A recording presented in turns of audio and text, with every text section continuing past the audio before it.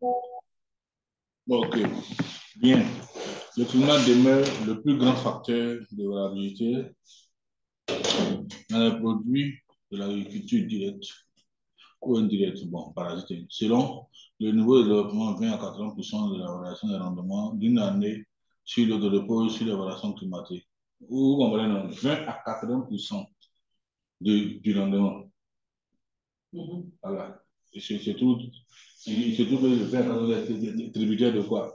Variation climatique. Voilà pourquoi il faut prendre ça au sérieux. Voilà, les variations climatiques. Actuellement, on parle de, on parle quoi? De, de précision. Avec, avec euh, l'imagerie satellitaire, on essaie de calculer les indices pour, pour, estimer pour, euh, la santé de la plante. Et là où on trouve la plante n'a pas trop bonne santé, on met les produits phytosanitaires dans le drone, paramètres, puis le drone va prioriser à cet endroit. Par exemple, on dit qu'on met la quantité qu'il faut juste pour ne pas. Bah, souvent, nous, il y a une pompe. Est-ce qu'ils savent la mesure Pompe, pompe, pompe, pompe, souvent, ils pompent plus. Or, avec le drone, on a, fait, on a la quantité exacte qu'on arrive sur les pieds. La quantité qu'il faut, en fait.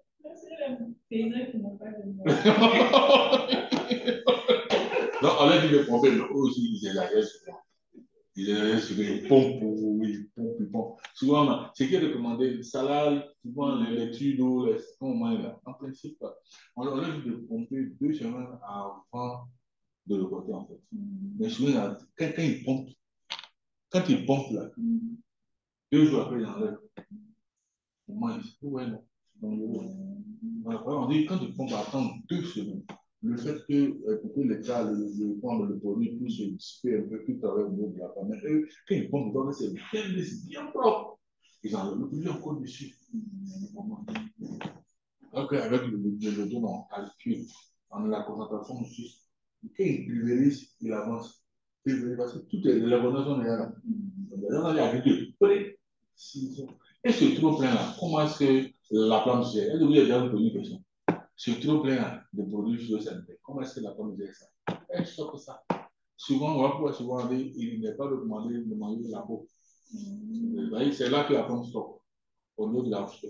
Ça, c'est la mangue, les fruits à mangue, la mangue, la pomme, c'est la peau. La, la plante stocke. Ouais. Avec la vie de précision, on sait le moment exact. C'est aussi avec aussi le milieu dont on peut estimer la production. C'était bien fait pour les céréales et les tomates. Et quand nous vol les catégories, les grappes, céréales, donc on a une idée de la masse déjà. Après, on fait la carte pour voir ce que tu vas avoir comme production. Donc, déjà, on n'a pas encore le côté de 16 comme production, on avait une idée. Les tomates, là, les cartographies, la masse il y a une base de données, il dessine la masse, la commande, il dessine le prix, il y a une idée. C'est la vie de ça va la mathématique.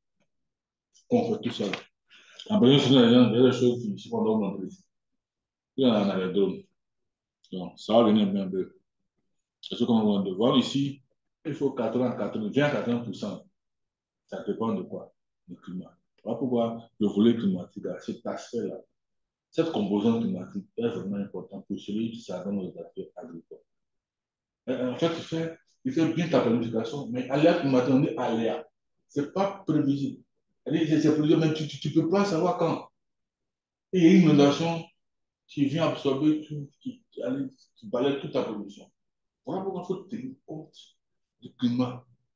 C'est pour ça qu'il fait agro-climatique, agro-climatique.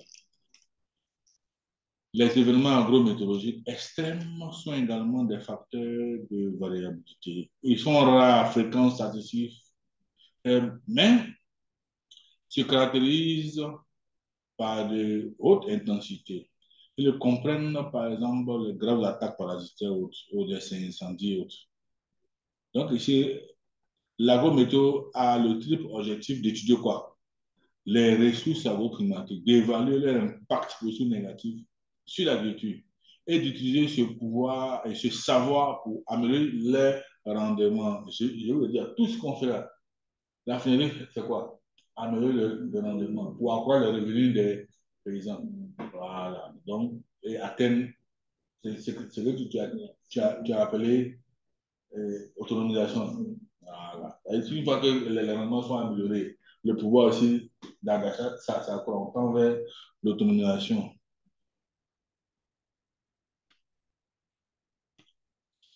En dépit de leur variabilité, l'application, l'ensoleillement, etc., considère les ressources en longueur de base. L'agrométéo a le triple objectif d'étudier les ressources agro, d'évaluer l'impact positif négatif d'utiliser ce savoir pour améliorer les rendements, comme on l'a dit tout à l'heure. Donc, tout ce qu'on fait, c'est pour améliorer le rendement.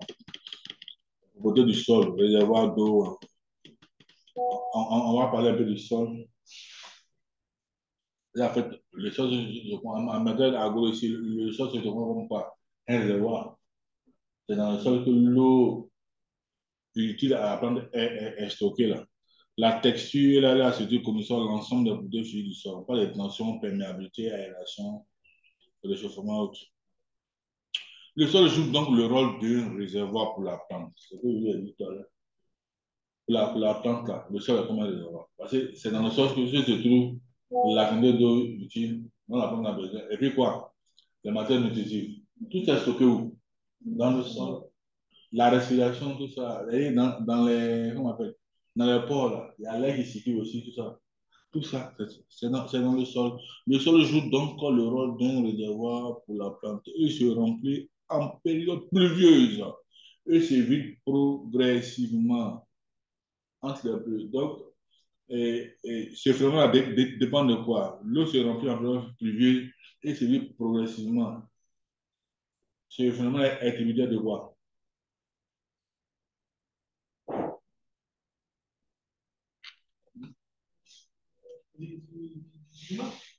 Oui, mais le mot du sol. Mais beaucoup. Parce que ça, ne fait rien que la sol soit comment Le sol soit arrosé. Et puis toute, toute, cette, unité retourne aussitôt. Alors que si on tient compte de l'évaporation, vous voulez des, zones où il pleut beaucoup, mais la production n'est pas élevée. Il pleut beaucoup, mais la production n'est pas élevée. Souvent, pour expliquer, on, on, on a recours à l'évapotranspiration. Mais si toute cette quantité retourne aussitôt, donc la quantité qui reste dans le sol la plante n'est pas assez. Donc la production ne sera pas élevée. Après, une autre zone aussi, il pleut beaucoup, mais la quantité qui reste dans le sol est assez. Donc après, c'est Ou il ne pleut pas beaucoup, mais le sol arrive à emmagasiner une grande quantité d'eau. Donc, du coup, tu vois, il ne pleut pas beaucoup là-bas, mais la quantité est élevée. Parfois, certaines zones, il pleut beaucoup, la quantité n'est pas élevée. Donc, le rapport de transformation en matière d'agriculture agricole, le rapport de transformation joue un grand rôle. On en parle beaucoup. Alors, l'UTP, l'UTP, le rapport de transformation de l'humidité du sol. Parce que le rapport de transformation, c'est. Quand de transformation est trop élevé, ça risque quoi? Sur l'humidité du sol. Bien, donc il est trop important, il est, il est, il est donc important de bien voir comment se comporte ce réservoir pour mieux l'utiliser. Infiltration de l'eau dans le sol. L'eau de pluie qui tombe sur le sol s'infiltre, ruisselle ou s'évapore. L'eau d'infiltration est celle qui nous intéresse. Sa proportion par rapport à l'eau reçue dépend de, nombreux facteurs. La, de nombreux facteurs. La pente aussi est la pente du terrain. Mais la pente favorise le, le ruissellement. Si tout ruisselle, c'est quelqu'un qui va s'inviter là. Donc, la, structure du sol, puis la texture du sol, l'état du sol, il est nu ou s'il est couvert. S'il est nu, s'il est couvert, l'eau s'infiltre S'il est couvert Ouais. S'il est couvert. Si le couvert, est-ce que ça favorise l'invitation de l'eau pas, pas en grande quantité. Il y a couvert végétal. Le système racinaire fait des fissures dans le sol. Que, que, que le va suivre pour se filtrer? Oui, oui, non, mais la quantité d'eau reçue sera quand même élevée par rapport au sol. Et le sol le sol nu. Alors l'autre, déjà, il y a déjà le chemin, le chemin que l'eau veut parcourir. L'eau peut suivre pour s'infiltrer. Donc, il y a l'humidité du sol aussi. C'est dans le sol, c'est dans un sol légèrement humide que l'eau pénètre le mieux. Hmm? Elle est légèrement humide que l'eau pénètre le mieux. S'il est trop sec, l'air s'échappe difficilement. Il est donc, s'il est trop humide, la porosité, s'il est trop humide, la porosité est déjà occupée par l'eau. C'est l'air, en fait, l'air qui se trouve dans le sol, c'est là que l'eau va s'emmagasiner. Donc, si, si cette partie est déjà occupée par l'eau. Donc, le régime de pluie, une pluie trop faible est en partie évaporée. Une pluie trop violente n'a pas le temps de s'infiltrer. N'est-ce pas?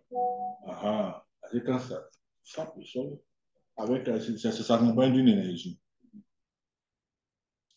Valeur approchée de taux d'infiltration, faible taux d'infiltration, taux d'infiltration moyen, taux d'infiltration élevé, la vitesse d'infiltration, l'eau de rétention, voilà, le point de réfugiage, voilà. La capacité de rétention d'un sol est à peu près proportionnelle à sa porosité. L'eau est retenue de plusieurs façons. Une partie imprègne le l'eau, l'argile, haute.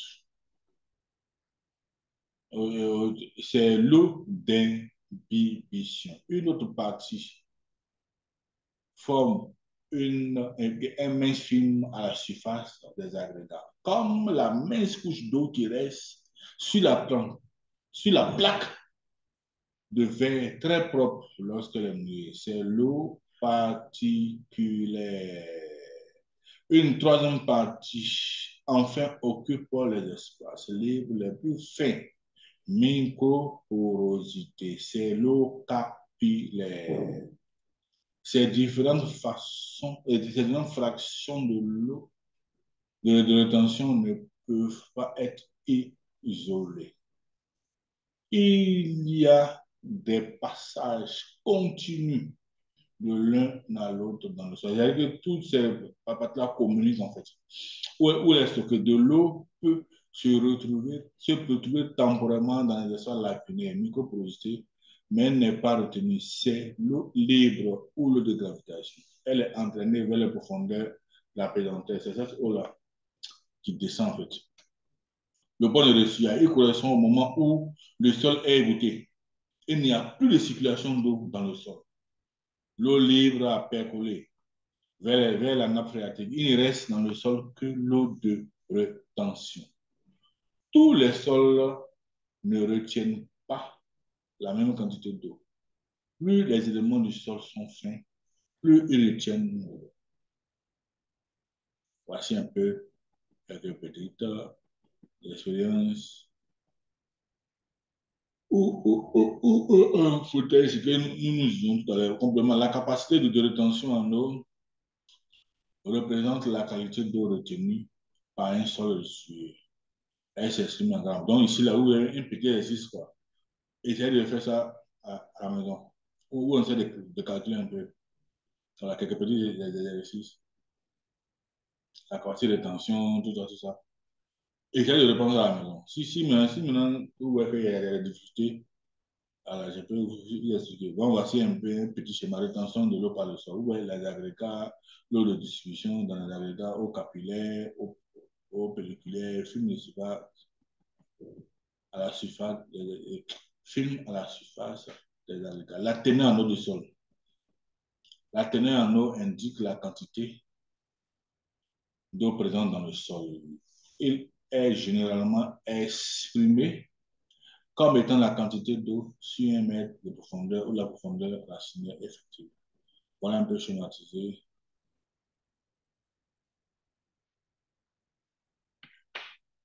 Avec, quelques petites euh, euh, illustrations. Utilisation de l'eau du sol par la plante. L'eau libre. L'eau libre n'est que très peu utilisée par la plante si elle se maintient en surface, le sol est privé d'air et il devient asphyxique pour les racines qui ne peuvent plus s'alimenter. Sinon, l'eau descend très vite hors de portée, hors de portée des racines. C'est l'eau de rétention qui constitue donc l'eau utilisée par la plante. Voilà. l'eau de rétention. Ça ne sert à rien d'avoir beaucoup d'eau dans le sol que, peut, que, la plante ne peut utiliser. La plante s'alimente facilement en eau, sol reçu. La plante ne peut plus extraire l'eau du sol. Utilisation, voici quelques illustrations avec quelques petits exercices à l'appui.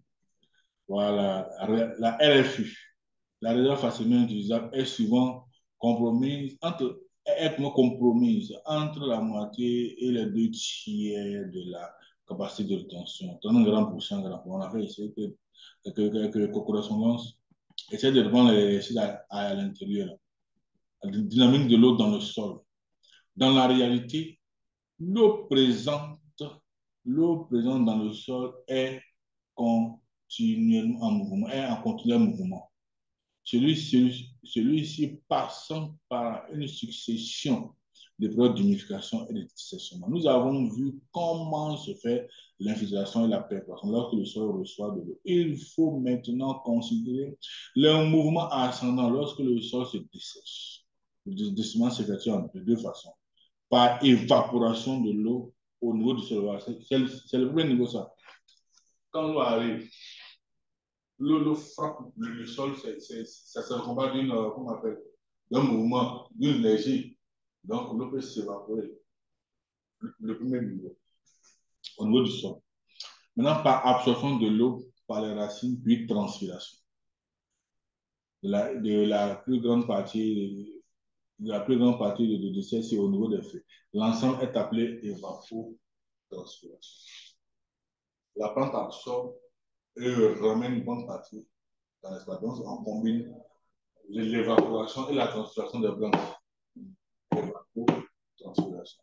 Ce mécanisme ramène dans l'espace une grande quantité d'énergie réussie. Donc, souvent, souvent quand, quand, on calcule quoi? Le SPI, non? Un indice standard de prestation.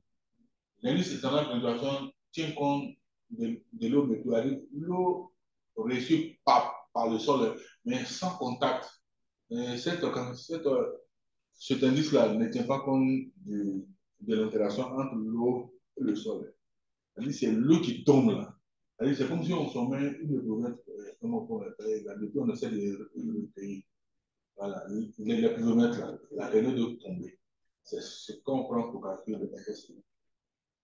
Maintenant, il y a un autre indice, l'indice standard de prestation de transpiration, SPEI. Lui tient compte de l'interaction entre l'eau et la plante. Et l'indice standard de prestation et d'évapotranspiration. Donc, lui va tenir compte de la quantité d'eau qui reste dans le sol, en fait. Nous avons vu comment se fait. On a ici, à la chanson, on a déjà vu ça. Donc ici, la plante et ses, la plante, ses besoins sont fondamentaux. Bon, question. Question, question, question. Il n'y a pas de questions, on peut continuer. Bon. Un besoin alimentaire de la plante. Notion de, biologie végétale. La biologie végétale est l'étude des phénomènes relatifs à la vie des plantes. Ces derniers sont en rapport très étroit avec les nombreux facteurs météorologiques. Pour, pour cultiver les plantes et obtenir une production de bonne qualité, en grande quantité, il est nécessaire d'avoir une bonne compréhension de tous les phénomènes et rapports qui existent entre les plantes et les environnements pendant leur croissance et leur développement. Qui est votre délégué? Avec qui? Qui est mon, mon interlocuteur? C'est toi, Olivier C'est ça, non? La seule femme, et puis on allait de côté. Hein? la spécialité, hein, sinon. Ici, dans la spécialité, non D'accord, pas de problème. Non, que ça, ça, ça doit que, que je, je remets le logiciel.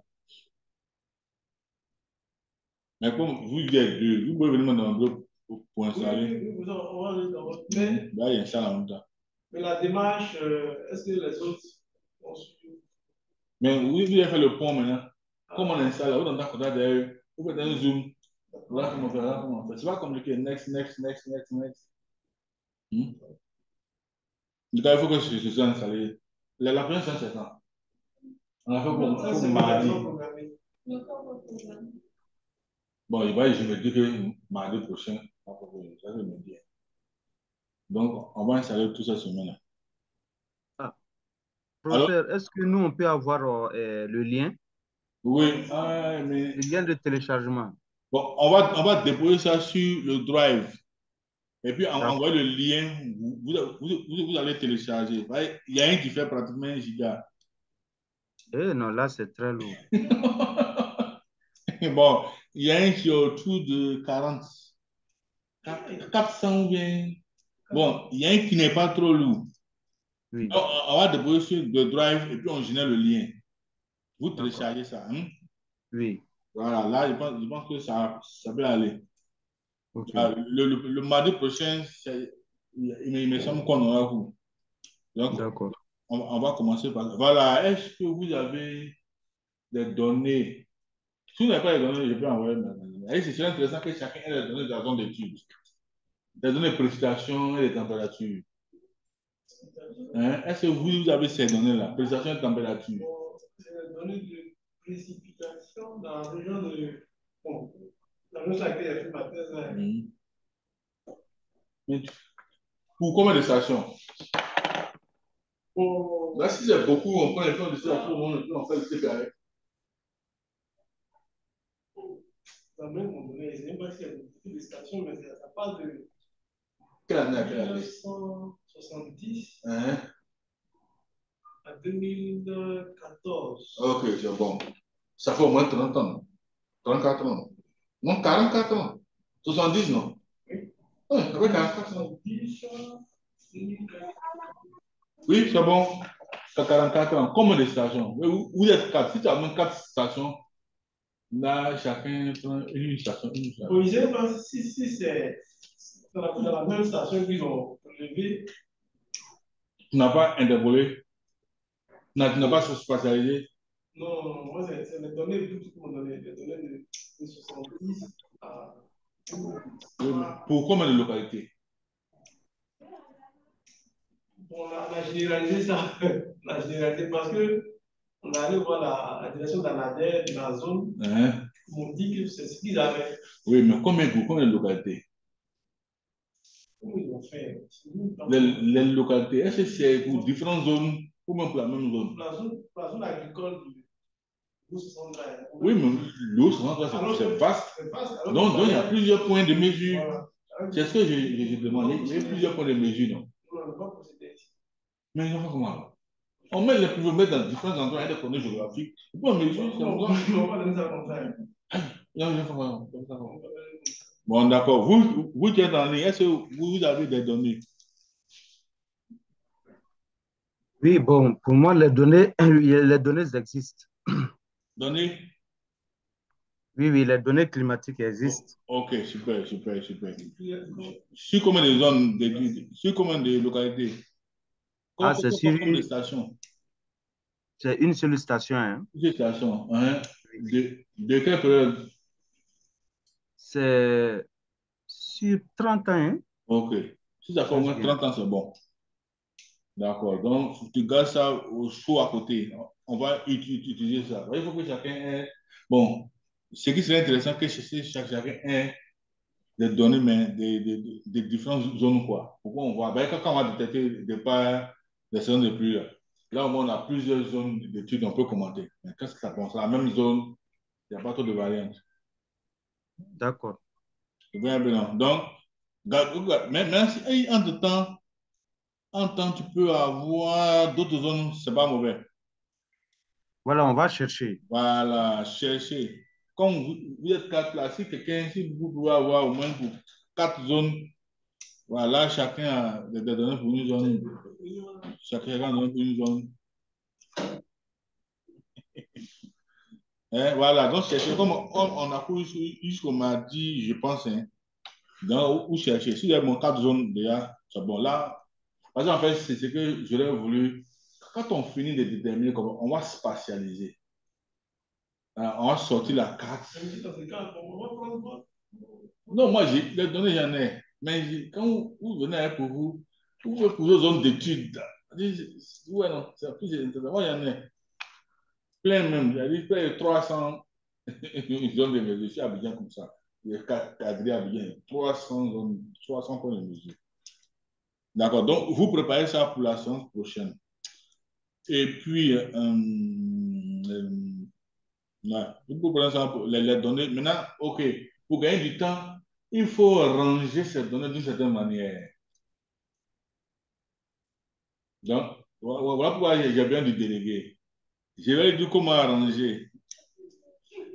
Il va vous, il va vous communiquer comment arranger. Là, vous rangez déjà les personnes. En fait, le rangement des données, c'est un aspect très important pour les études climatiques.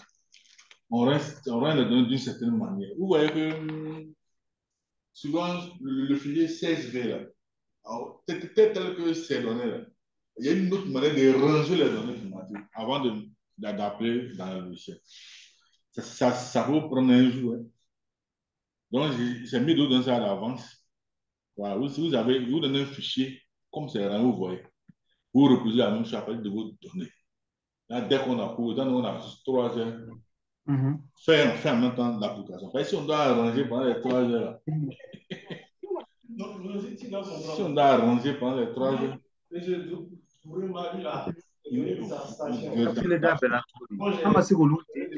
voilà. Elle aussi, la zone d'étude. Nani kasha?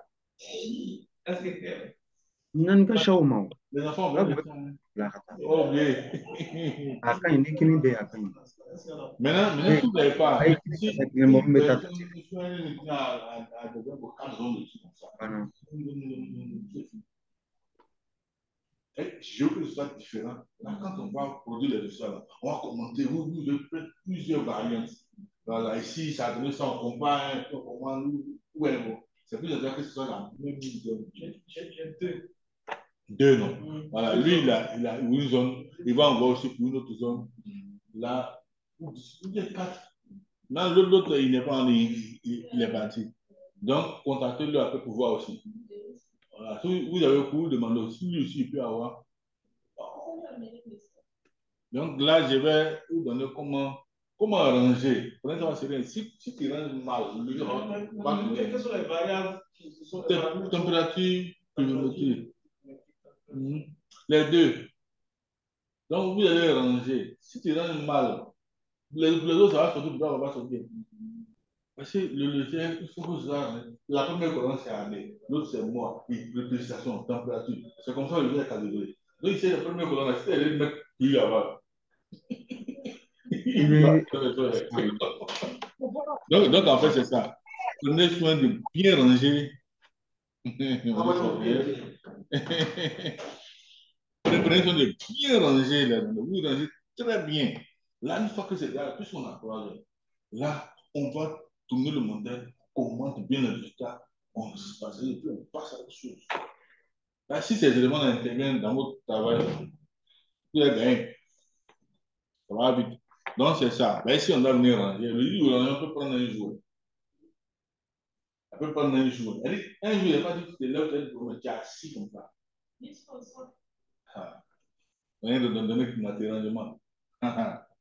Mais c'est minuscule. Imagine. Euh, 365 minutes de données journalières. Et puis tu as 40 ans. 365 fois 40. Et ce que tu faire. Tu vois, il faut calculer d'abord. 365 fois 40. Et tu vas avoir le, le, le, le nombre de données à ranger. 365 fois 40.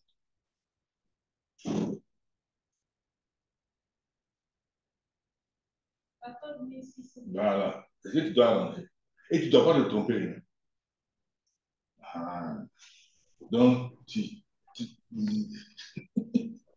Donc, si on a venu faire ça pendant les trois heures, bueno, donc on ça déjà et puis on, va avancer. D'accord, donc je pense qu'on va s'arrêter là pour aujourd'hui.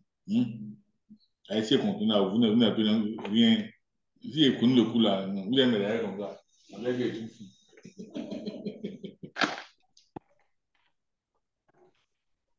Donc ça va. Question. Oui, Monsieur Brima, vous, vous n'avez pas de questions? On, on s'arrête là pour aujourd'hui. Non, vraiment, c'est, ça va. Aujourd'hui, ça va. D'accord. Ça va seulement si on pouvait avoir, euh, comme vous l'avez dit, comme arrangé. Oui, oui, voilà. Si on avait eu au moins les en-têtes de tableau, on allait Oui, commencer oui. à faire le changement dès maintenant. OK. Donc, je vais vous envoyer un fichier déjà arrangé. Oui. Vous allez vous, vous, allez vous inspirer de cela. Voilà, avec le logiciel, le lien, voilà, le lien généré pour pouvoir, pour que vous, a la vous puissiez télécharger. Oui. Voilà, avec un fichier déjà arrangé. Oui. Vous allez ranger de la même manière. Que vous pouvez faire ça avant le mardi, c'est bon. hein. Alors, on a juste trois heures la semaine, la semaine prochaine. Si on peut aller directement à la manipulation du, logiciel, c'est bon. Plutôt que de prendre tout ce temps-là pour ranger. Hein? Ça peut aller? D'accord. Docteur, merci, merci. Donc, à la semaine prochaine. Ok, à la semaine prochaine. Merci.